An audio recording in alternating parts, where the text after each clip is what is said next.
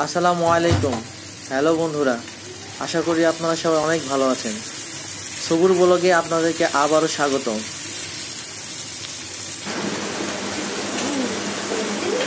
বন্ধুরা, আজকে আপনাদের সাথে শেয়ার করব।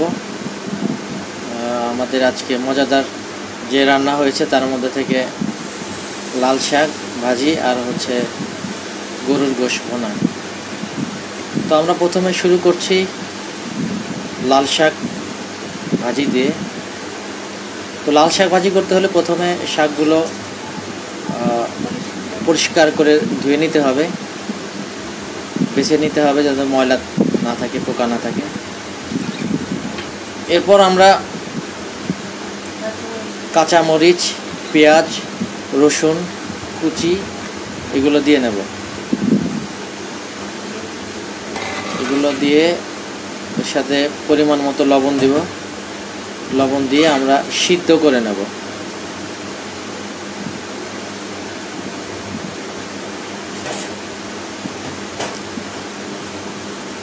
পরিমাণ মতো লবণ দিয়ে নিলাম।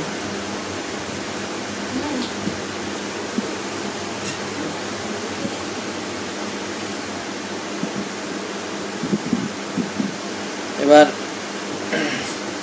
সিদ্ধ হচ্ছে। একটু উল্টায় দিচ্ছি।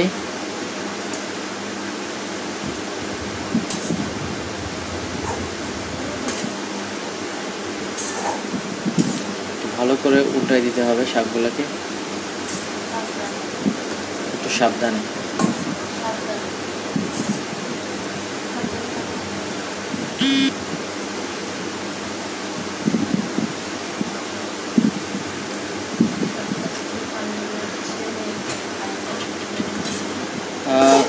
নেড়ে চেড়ে দিচ্ছি। শাক থেকে পানি বেরোচ্ছে। তো ভালো ভালো করে নেড়ে দিয়ে শাকটা শাকের থেকে পানিটা শুকিয়ে নিচ্ছি। আর একটু সিদ্ধ করে নিচ্ছি।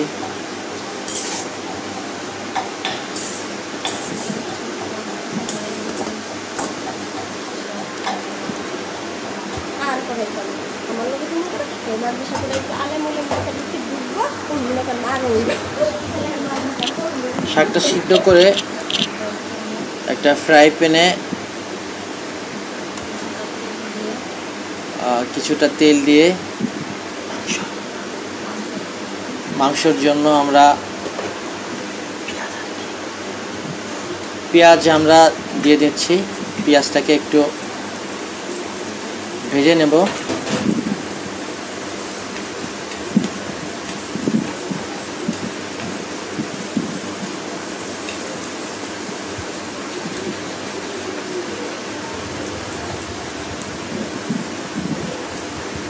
পেঁয়াজের যখন বাদামি কালার আসবে, যখন অলরেডি বাদামি কালার আমরা কালার আমরা দেখতে পাচ্ছি।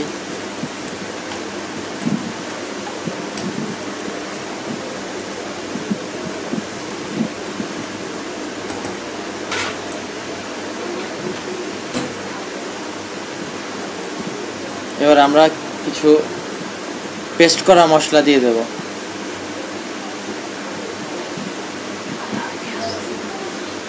আদা আর রসুন পেস্ট আমরা দিয়ে দিলাম। দিয়ে মশলাটা আরেকটু কষিয়ে নেব।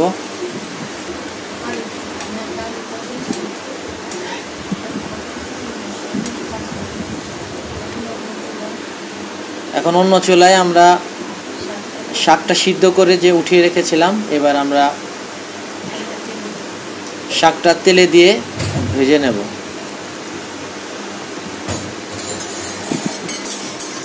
আমরা পেঁয়াজ কুচি, পেঁয়াজ এবং রসুন সেচে দিলাম।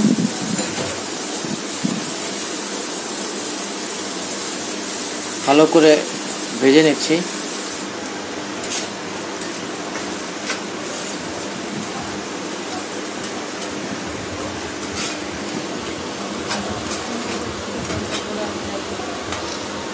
ভাজাটা যখন শেষের দিকে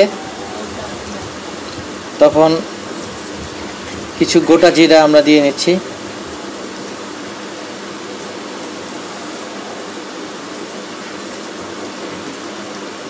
দিয়ে একটু ভেজে নিলাম নাড়াচাড়া দিয়ে।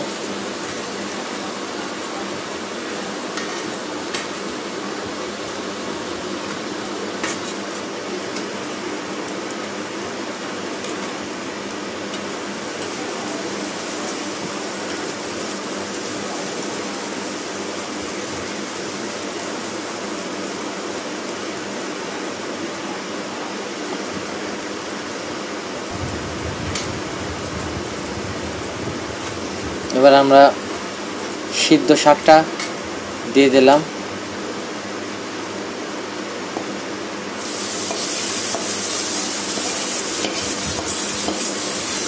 এবার আমরা শাকটাকে ভালো করে মশলার সাথে মিশিয়ে ভেজে নেব।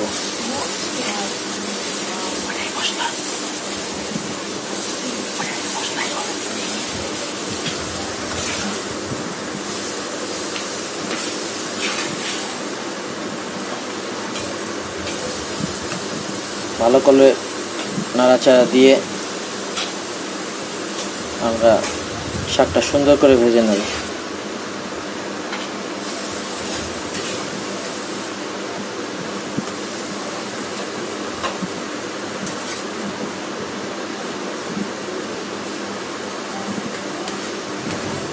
এবার আমরা অন্য চুলাই গোশের মশলাটা আমরা একটু দেখে নিচ্ছি।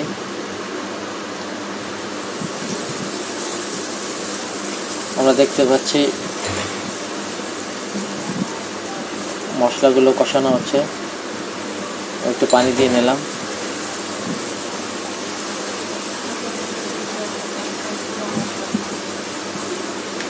এখন বাকি যে গুঁড়া মশলাগুলো আছে, এগুলো দিয়ে নেব। শুকনো মরিচের গুঁড়া দিয়ে নিলাম। হলুদের গুঁড়া দিয়ে নিলাম।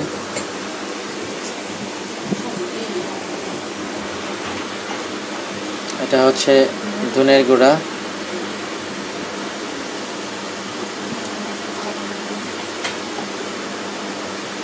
এবার একটুখানি পানি দিয়ে আবারও একটু কষিয়ে নেব মশলাটাকে।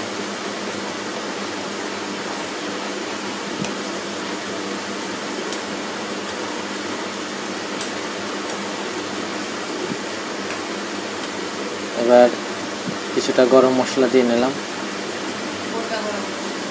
গোটা গরম মশলা।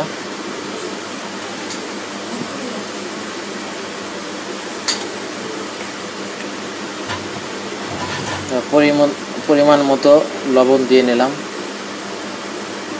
ভালো করে নেড়ে চেড়ে মশলাটাকে আমরা ভালোভাবে কষিয়ে নিচ্ছি। আমাদের শাকটা ভাজি হয়ে গেছে। শাক ভাজির আমরা শেষ পর্যায়ে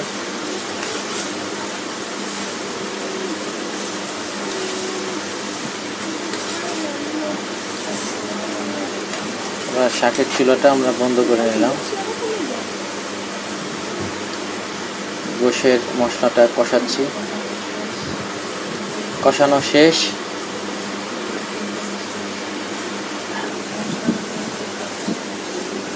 মশলার উপরে আমরা দেখতে পাচ্ছি তেলটা ভেসে উঠছে। বোঝা যাচ্ছে যে মশলাটা কষানো হয়ে গিয়েছে। এবার মাংসগুলোকে আমরা পাত্রে ঢাললাম। মশলার ভিতর ঢেলে দিলাম।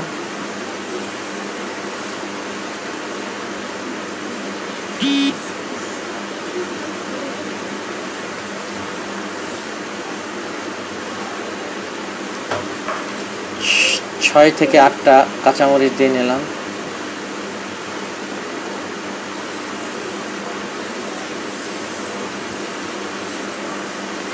ভালো করে মাংসটাকে মশলার সাথে নাড়াচাড়া দিয়ে মেখে নিচ্ছি।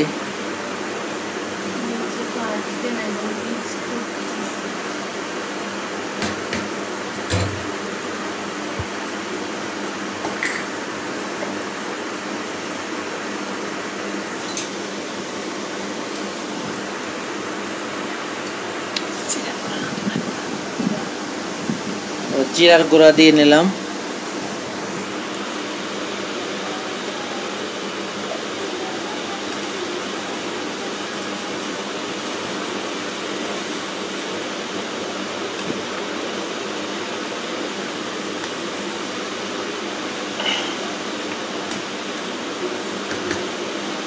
মা মাংস ঢেকে দিয়ে সুন্দর করে কষিয়ে নিচ্ছি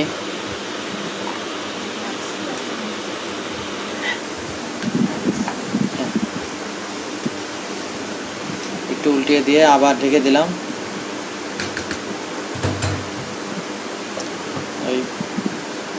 এখন আমরা শাকটা বেড়ে নিচ্ছি।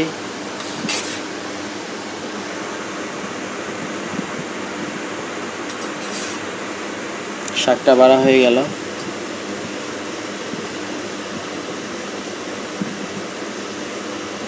এখন আমরা অন্য চুলায় ভাতটা বসিয়ে দিলাম।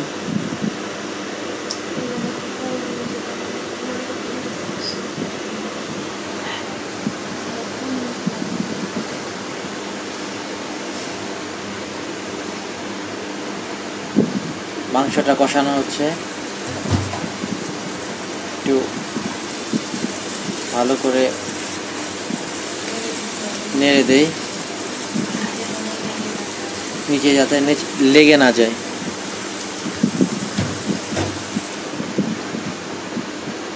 আবার কিছুক্ষণ ঢাকনা দিয়ে ঢেকে কষিয়ে নিলাম। আবার একটু নাড়াচাড়া দিয়ে নিচ্ছি।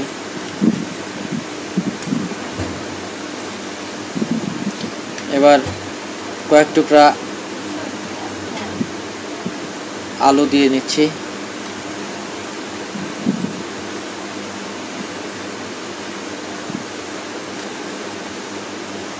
এবং নাড়াচাড়া দিয়ে আলুটাকে মশলার সাথে ভালো করে মিশিয়ে দেওয়া হচ্ছে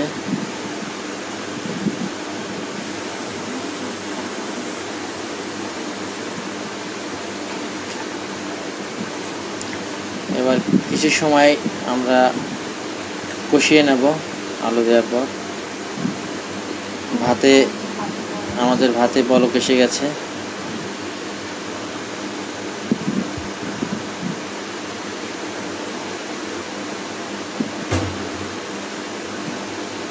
মাঝে মাঝে একটু নাড়া দিয়ে উল্টে নিতে হবে যাতে নিচে লেগে না যায়।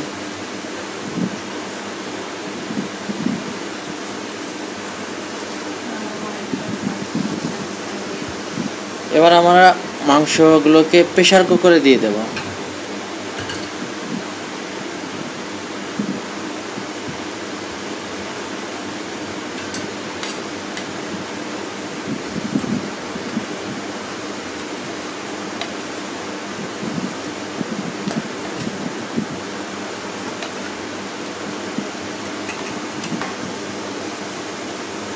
এবার পরিমাণ মতো আমরা গোশে পানি দিয়ে দেব, তবে খুব বেশি না। অল্প পরিমাণে পানি দেব, যেহেতু এটা ভুনা মাংস। আমরা পরিমাণ মতো পানি দিয়ে নিলাম। এবার প্রেশার কুকার, মুখ লাগিয়ে দিয়ে, ঢাকনা লাগিয়ে দিয়ে চার থেকে পাঁচটা শীষ আমরা দিব।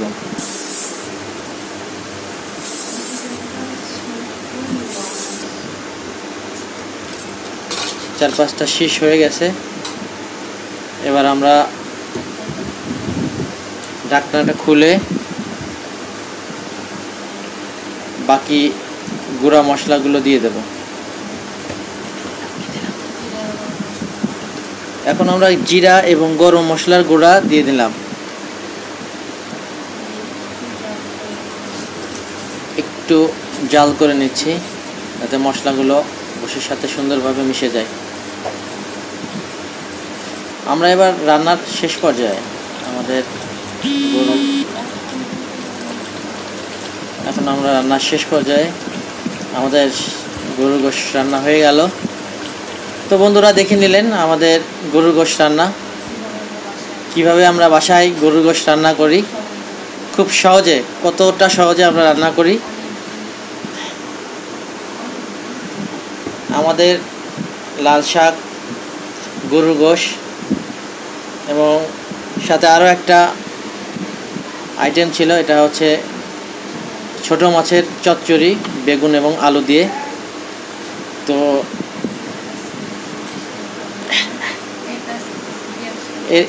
আজকে এই ছোট মাছের চচ্চড়ি রেসিপিটা আর শেয়ার করলাম না।